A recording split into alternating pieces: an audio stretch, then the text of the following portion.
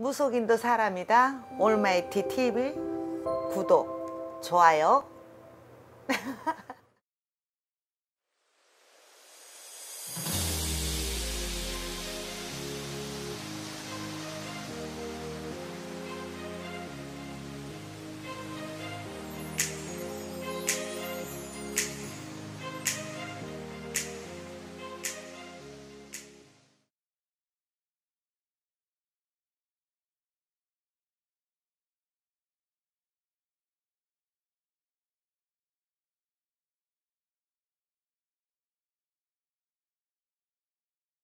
지금 한 내가 보기에는 12년 정도 됐습니다. 예.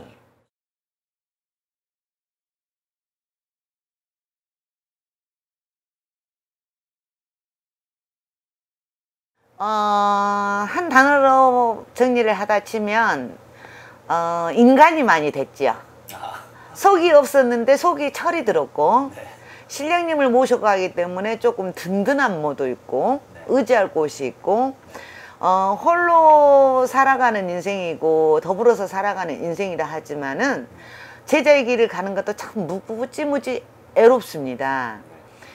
음, 힘든 날도 많이 있고 죽고 싶은 마음도 많이 생기고 너무너무 좋은 날도 너무 많아요.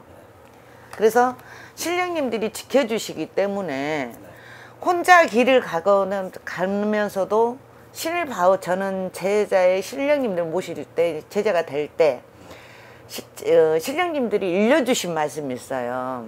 망망대에 홀로 서서 가는 길을 어떻게 고비고비 그 고비를 어떻게 이겨내면서 가려고 그러냐 그러면서 펑펑 우셨거든요. 지금도 그게 그 생각만 하면 하면은 눈물이 나요. 그래서 음, 제자하기 나름이기도 하지만은 신령님들이 사실은 무섭기도 합니다. 내가 잘못을 했을 때나 그러면 큰 벌도 주시고 너무 힘이 들어가지고 너무 정말 나도 모르게 저기 사람이란 게 마음이란 게 무속이는 더 마음이 감정 기복이 더 많아요. 그렇죠, 그렇죠.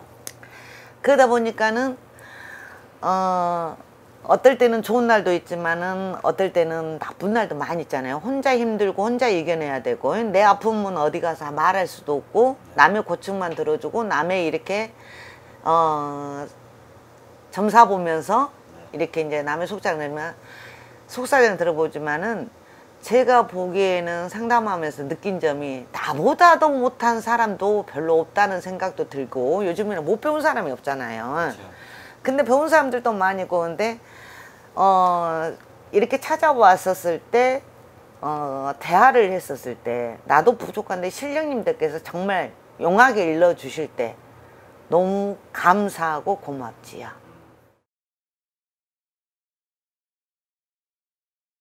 당연히 부러울 때는 있지요. 이제 왜냐하면 우리는 다른 사람들이 잤어, 자고 있을 때 어, 밤이슬 맞아가면서 철학기도 할 때도 있고요. 그렇죠. 음. 그리고 저 같은 경우는 누구하고 기도도 산도 기도를 한, 못 가요. 혼자 가기 때문에 내 자신과고 싸움이에요. 그러니까 늦은 시간에 짐승 소리도 많이 나고 산속에 있다 보면 너무 무서울 때도 네. 있긴 있어요. 네. 사실은 실령님들이 지켜주기 때문에 어, 죽은 사람은 신은 귀신은 무섭지가 않습니다. 근데 사람이 무섭지요. 그냥 사람이 무섭다는 생각이 들기 때문에 정말 애롭다, 힘들다. 정말 그걸 이기고 나면 이제 무서운 것도 이기고 애롭고 힘든 것도 이기고 나면 그 산에서 내려왔을 때는 더 좋은 일도 많이 있고 그러기 때문에 혼자서 어느 산천을 가든 혼자 기도를 할 때도 신령님들한테 많이 의지하고 합니다. 사람이 와서 그 무속인들 해치는 경우도 있잖아요. 그러기 때문에 이제 그런 것도 무섭기는 그게 무섭지 신령님들하고 기도하고 이럴 때는 무섭증 어르신 이제 신령님들한테 도와주시라 하면 이제 많이 도와주시고 그래요. 그러기 때문에 그거는 조금 덜해요. 그럼 하고 나면 그거 이기고 나면 너무 좋아요. 무서움증도 이기고 나면 좋고 다 그렇습니다.